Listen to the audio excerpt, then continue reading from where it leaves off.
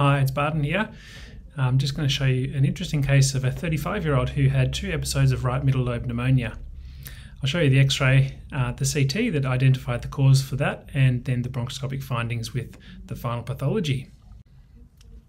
So, this is the chest x ray showing consolidation in the right mid zone with not a very clear right heart border, suggesting that this is in the right middle lobe.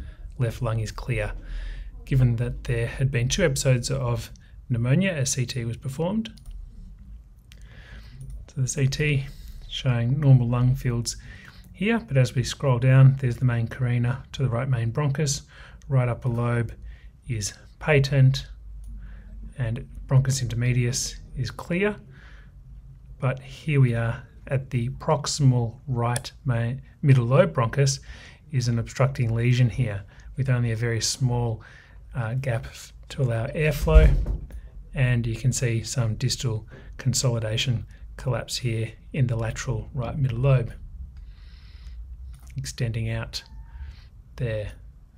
So there's clearly what looks like an endobronchial lesion although this could be mucus plugging. It is more likely to be a solid lesion given that there's been a couple of episodes of pneumonia uh, and also some evidence of collapse, suggesting it's been there for a while. So bronchoscopy is certainly indicated, and we'll have a look at the bronchoscopic images.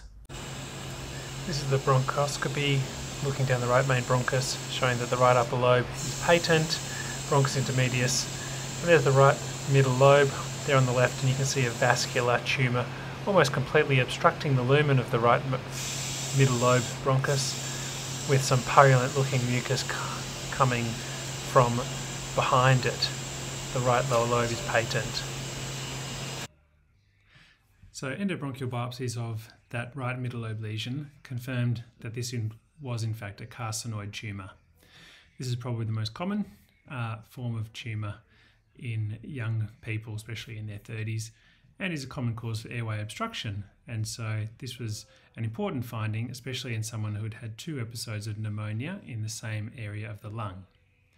He went on to have a right middle lobectomy, so had resection of the tumour and the right middle lobe, which has been able to achieve a cure and a very good outcome for him. All right, hopefully you found that interesting. Uh, it's a good case demonstrating the importance of uh, further investigating people who've had uh, pneumonia more than once, especially when that's in the same area of the lung. All right, see ya. Música